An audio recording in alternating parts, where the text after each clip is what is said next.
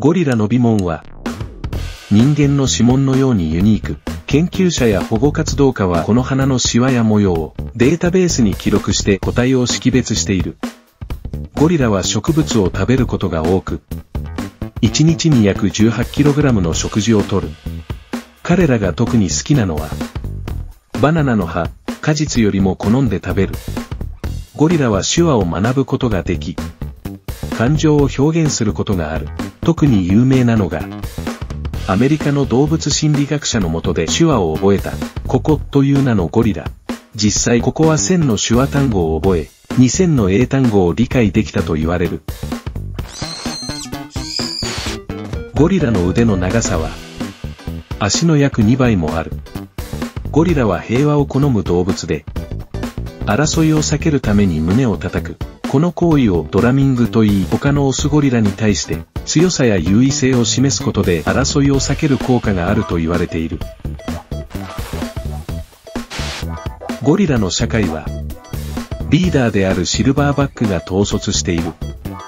ゴリラの DNA は人間と98%以上が同じ。これは両者が比較的最近約700から900万年前に共通の祖先から分かれたことを示している。ゴリラの視力は、人間とほぼ同じで色も識別できる。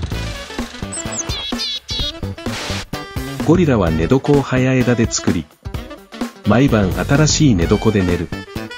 ゴリラは雨が苦手で、フルと葉で体を覆うことがある。ゴリラの赤ちゃんは、1歳になるまで母親と常に一緒にいる。ゴリラはくすぐられると、笑う。ここはトレーナーから腹をくすぐられると、はははと声を出して笑う様子が観察されている。